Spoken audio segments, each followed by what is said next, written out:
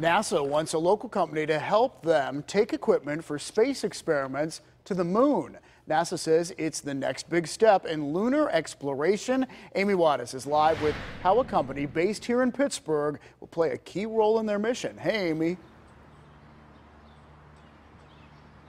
David, that's right. Exciting news. And NASA awarded Astrobotic $80 million, and it plans on flying as many as 14 payloads to the moon by July of 2021. Astrobotic, headquartered here in Pittsburgh, is one of three commercial moon landing service providers in the U.S. selected to deliver payloads to the moon as part of its Artemis program. Astrobotic has proposed to fly the 14 payloads to a large crater on the near side of the moon. We've got rovers that are going to be dropping and driving off into the distance. We have time capsules from uh, various companies all over the, the, world. We've got one in particular from Japan that has more than 100,000 kids signed up to send their dreams to the surface of the moon.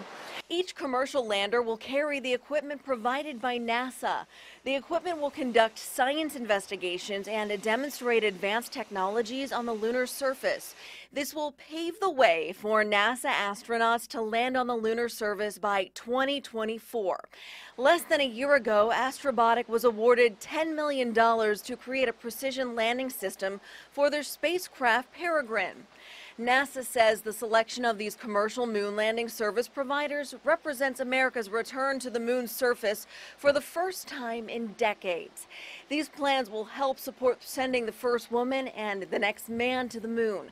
As part of their submissions, each provider will be flying specific NASA instruments to the lunar surface. So what is the next goal for NASA's Artemis program after its 2024 mission? Well, that is to establish a human presence on and around the moon by 2028. And after this, NASA hopes to be able to send astronauts to Mars.